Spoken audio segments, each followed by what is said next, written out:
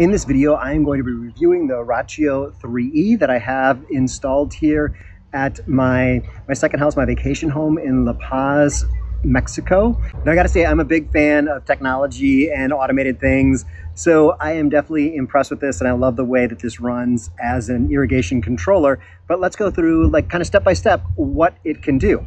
So I have this mounted outside, but it's under an eave, so it's protected from the rain. You can get it with a waterproof box, but I didn't buy that. And this is a professional irrigation controller. This isn't something like the little ones you buy at Home Depot that you kind of hook hoses up to and it does the timer. This is meant to connect to actuators and probably be installed by a professional, the rest of the irrigation system at least, and they just wired it into the Rachio. And you can set up different zones for watering a lawn or down here we have just drip irrigation in different parts of the yard. I think we have seven different zones. So the controller itself, it just has a magnet that's holding the front cover on so you can pull that off and that's where all the wires are. And you can also control some basic functions from the outdoor controller, just pretty much choosing a zone one through eight and pushing start or stop. Everything that's magic is done through the internet, through the website, or through the app. So you can set everything up in the app, but the app can also modify things like if uh, if the forecast says it's going to rain, or if it does rain in an area in a city, uh, the the 3E will adjust for that. Uh, now there is the three, which from a tech geek standpoint, I kind of wish I had that one um, because down here in Mexico, there are kind of microclimates. And so it's a little more geared towards your exact location and making more fine tweaks on a daily basis. The 3E adjusts on a monthly basis, except for when it knows that it's raining. But it's if it gets really hot, I believe the 3 is able to boost the water, whereas the 3E is just kind of like using a monthly a schedule and then at the end of the month it says, "Oh, this is July. It gets hot," and it makes an adjustment across the uh, the entire month, but not on a day by day basis. So, if you're looking for more features like that day by day control or wireless controllers. Um, check out the three. It is a little more expensive. It does do up to 16 zones, but for me, this is probably a pretty good deal. So I live in Portland, Oregon most of the year, but I'm able to use the app to control the irrigation system down here in Mexico. We have a caretaker here in Mexico and he has the app on his Android phone. Mine's on, on an iPhone. So I gave him access so he can go through and turn the zones on or off if he thinks they need a little more water or if he's testing it out to make sure all the zones are, are working and all the emitters haven't gotten clogged. There's a lot of calcium in the water down here. Another fun thing that I can do here in Mexico or up in Portland is I can say, Echo, turn on Rachio Zone 2 for three minutes. Okay, here's Rachio. Okay, zone number 2 is running for three minutes. I call mine Echo instead of Alexa. So everything can be done from your iPhone or Android device through the app. I'm going to show you the details over on the computer. It's just a little easier to see, but you can see here that the different zones are set up here, and I can go into a zone and see uh, information about that zone and set up things specifically for that zone, and also go through different uh, schedules and calendar and whatnot. But I'm going to take you over to the computer because it's just a lot easier to see. So you'll set up a Rachio account that works with all your different devices. And here on the computer, just take you through real briefly. You've got kind of a home screen that's telling you what's happening here. So you can see the weather here that is expected in Centenario. So it looks like there might be some rain coming up. And it shows that the weather station that I'm connected to is four miles away. And once again, the Rachio 3, I think, is able to give you a little more detail. And I believe you can connect a local, uh, like a weather station that you buy to either one of these. Don't quote me on that, though.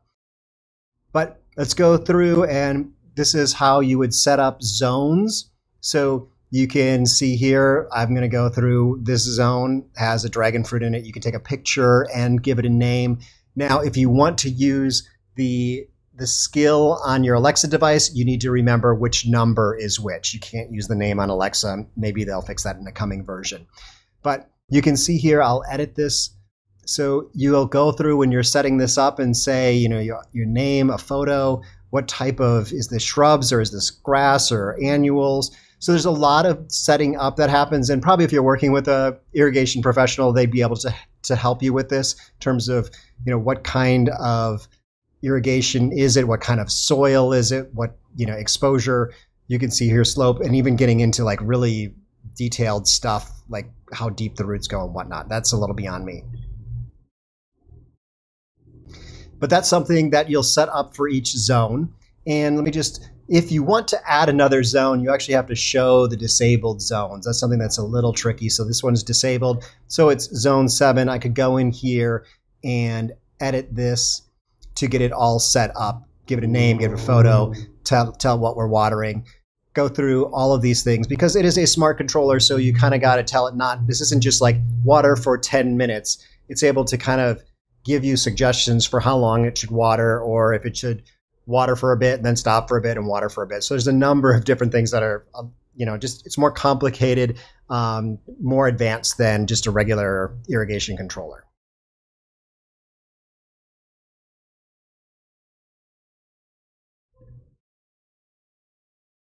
So then your zones go into a schedule here.